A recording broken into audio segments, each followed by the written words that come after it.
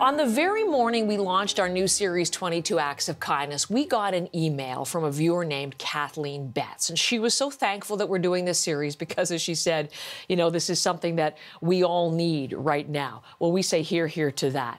But she also nominated the organization called a Purse for a Sister this campaign. And she sent us a link to the organization, which, when you go there, you learn that this is an organization that brings comfort, hope, and dignity to women and youth in crisis with the gift of purses filled with personal necessities.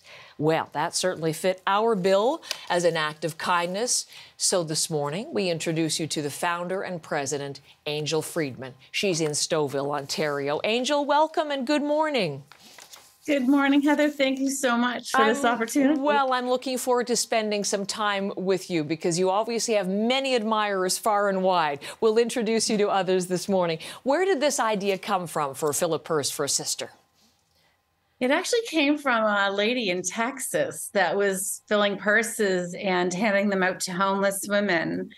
And uh, I thought the idea was fabulous. Uh, it worked with everything I was doing. So I just made up a Facebook page called Fill a Purse for a Sister campaign and received 1,500 purses in t- 2015.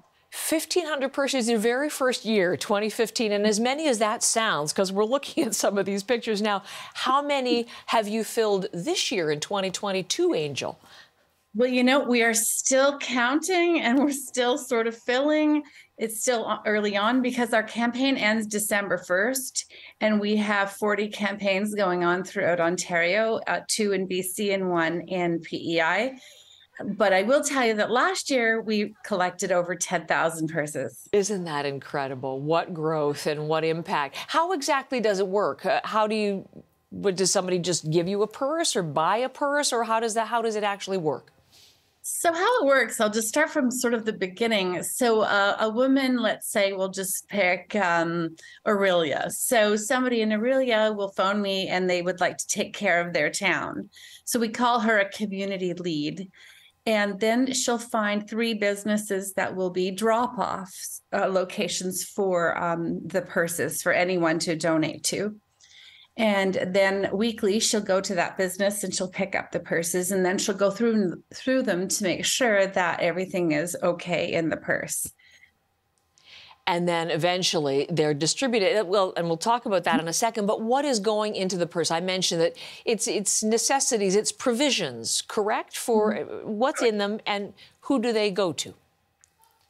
So what what we ask for is a shampoo, conditioner, deodorant, tampons, a toothbrush, toothpaste. But most people add a whole lot more. Like they'll add a nice note or they'll put a brush in or hair ties, a gift card from, you know, one of local coffee shops. People are very generous and very kind. We've been we're blessed. and those necessities end up helping women and youth in times of crisis. Tell us where you where you then make sure the purses end up.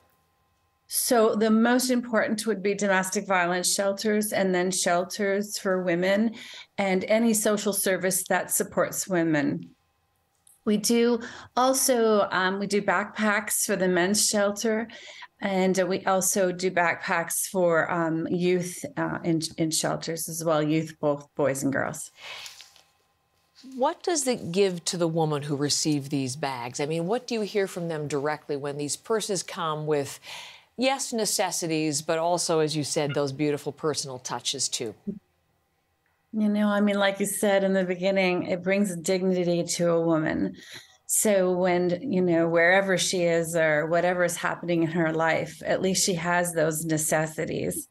I mean, to think that, you know, you have to escape a domestic violence and you, you know, usually rush out. Often women will take everything for their children and run out, you know, so when they arrive to wherever they arrive, they get a, you know, a beautiful purse filled with everything they need to start their day one.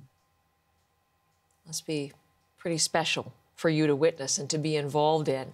Um, you've talked about your own personal connection to domestic violence. I don't know if you want to share part of the story, why that cause is meaningful for you, but to know that you're having that sort of uh, real impact on women in a very difficult situation, how does that make you feel? You know, I mean, I know from my mom, she had left uh, left my father, and I remember sort of the you know middle of the night, uh, you know, taking me out of my bed and leaving, um, and and I know how how often we would leave with nothing. I would I do remember her leaving without her purse. So, you know, just to escape the violence. So, you know, for me, like I, I, it's everything to me that a woman would uh, have her dignity intact. I, I mean, as a social worker, I know working with women, you know how vulnerable they are, how afraid they are, and um, you know, Heather, this also gives me a platform to talk about domestic violence um, and and how important it is to you know, talk about it because it unfortunately thrives in silence.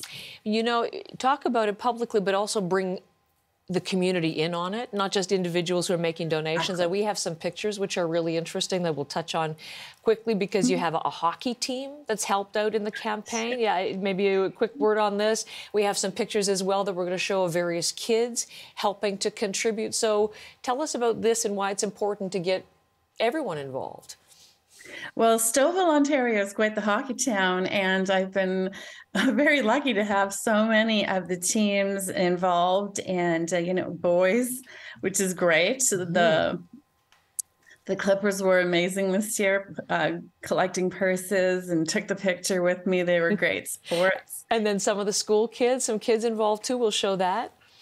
Amazing so you know teachers have been really getting on board with schools and kids and and they'll what they'll do is they'll take like five classrooms and call them by a woman's name and then start collecting. So you know linda is shampoo and joyce is tampons or what have you.